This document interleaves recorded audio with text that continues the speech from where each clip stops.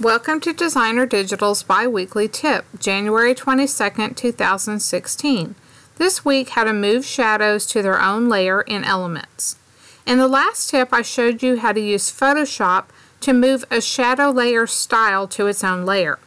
Once the shadow is on a separate layer you can tweak it to make your page more realistic and more interesting.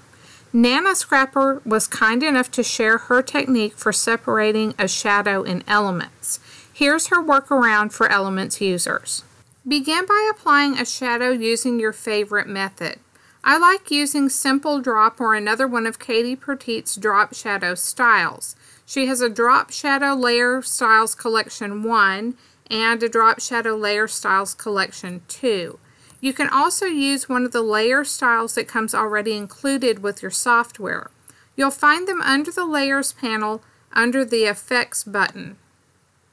Choose Styles up here at the right and then choose from the drop-down menu either Drop Shadows, Show All, or the name of the styles that you have purchased and installed in your software. Select a layer style and click once to apply it.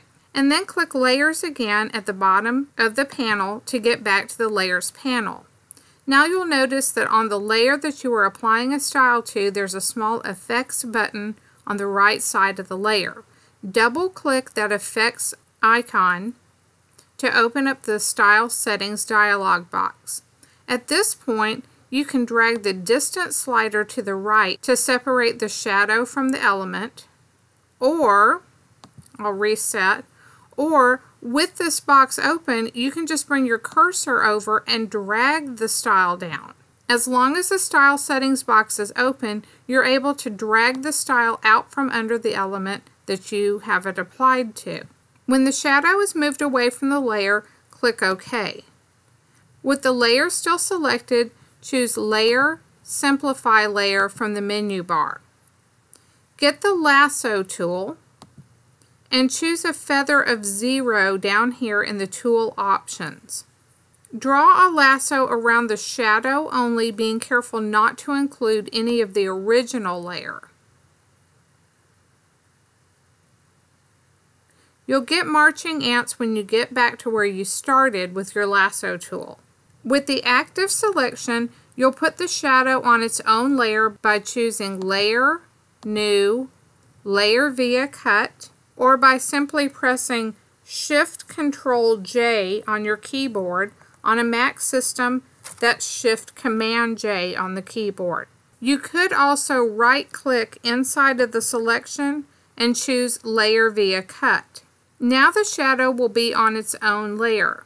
So we have the original layer here and then the shadow here on its own layer. You can move the shadow back under the original layer and ripple it using filter menu as outlined in the previous tip. Just drag the shadow down underneath the original layer in the layers panel. And then you can use the move tool, so I'll switch to the move tool, and drag the shadow back up under the element where it was to begin with. Now that both Elements and Photoshop users can get shadows on separate layers, we can explore other shadow tricks in the next few tips.